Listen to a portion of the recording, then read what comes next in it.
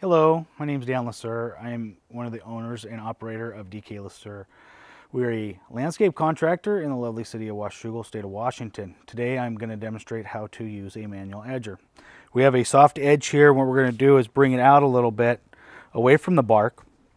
So basically you just take the edger, put it in the ground, put your foot on it, hold the stick firmly, push down, get in the ground, wiggle it, pull it up, Move over a bit, same thing. Wiggle, get a nice deep cut. Again, there you go.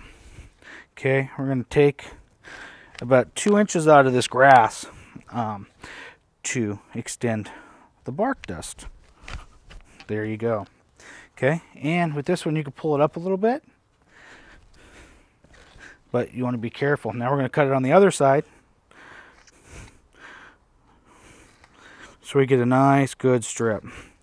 And if you're really good at this sometimes, if you got some bad areas in your grass, you could take this grass and go plant it somewhere.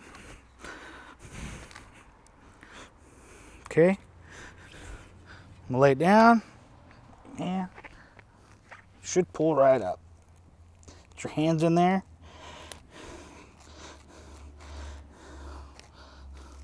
And now, nice good strip of grass. If you cut it back, move your bark in, you got a new edge. It's a lot cleaner than what we had had.